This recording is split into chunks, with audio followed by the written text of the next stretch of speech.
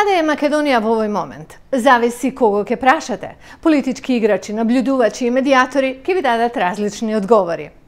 Повеќето се на мислење дека Македонија е во криза последниве неколку години, со мали изгледи тоа да се промени, или како што рече председателот Иванов, кризата е нова нормала за Македонија.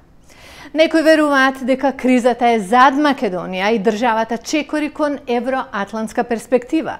Но има и такви кои велат дека ова е моментот да се изчекори од кризата, зашто е потрошено премногу време на, цитирам, калкулации, конформизам и декларативност. Но што стои на патот за постигнување политичка волја за таков чекор? Комплицирано е, како што ќе чуеме од следниот прилог, последното издание за годинава на Хоризонти, заеднички проект на Гласот на Америка и Радио Слободна Европа. Почнуваме со Македонија, но станете со нас, веднаш потоа ве водиме преку океанот за перспективата одовде, од Вашингтон. Македонија со години наназад е во политичка криза која се менаџира со представници на меѓународната заедница. Земјата навидум излезе од кризата со предвремените парламентарни избори минатата година и со неколкуте политички договори.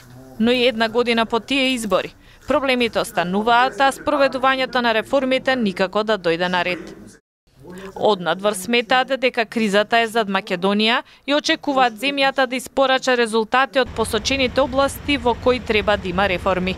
Затоа сите домашни чинители треба да работат ефикасно без изговори. Нема више е, ни, веќе ни време за калкулации, конформизам, за декларативност. Точно се знае што треба да направиме точно се знае секоја институција, секое министерство, значи секој чинител, субјект, што треба да прави за да ги постигнеме овие резултати, односно овие стандарди. Опозицијската ВМРО ДПМН и дел од нивните коалициони партнери ја бойкотираат работата на парламентот, во време кога од земјава се очекува да ги исполни реформите од евроинтегративната агенда за кој Брисел бара вклученост и на опозицијата. Владеачката коалиција пак со месеци не може да се договори за пополнување на празни министерски места. Сето тоа прави една мощна лоша политичка клима во државата пред така да кажам оние јавно ветени клучни исчекори што Македонија треба ги направи на меѓународен план идна година. Бојкотот на работата на собранието започна откако обвинителството отвори истрага против 36 луѓе, меѓу кои 6 пратеници од ВМРО ДПМН и нивната коалиција, за настаните во собранието на 27 април. Тие се во притвор под сомнение за загрозување на уставниот поредок и безбедноста. Во исто време, најголемата опозицијска партија се соочува и со внатрешни проблеми. Дел од пратениците ја оспоруваат легитимноста на Конгресот и на нивниот лидер. Пред Македонија се исправени и други прашања, како решавање на спорот за името, членството во НАТО, системски закони за кои се бара двотретинско мнозинство, а за кои е потребно национално единство. По изборот на новиот лидер на ВМРО ДПМН, Христијан Мицковски, од Сестринската Европска народна партија порачаа дека сега опозицијата ќе треба да работи во парламентот и заедно со власта да ги реализира необходните реформи. Загрижувачки е што членови на парламентот се уапсени, но уште позагрижувачки е што опозицијата едноставно избира да се исклучи од политичкиот процес во државата. Вели Јан Сурочак, директор за Европа во Меѓународниот републикански институт во Вашингтон, сомневајки се дека Македонија се наоѓа пред нова политичка криза.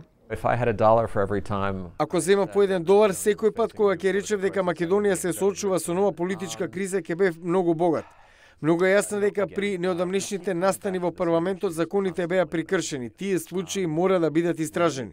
Сурот чак вели дека опозицијата место да дава отпор, треба да научи како да се однесува одговорно, со цел да ја држи владата одговорна.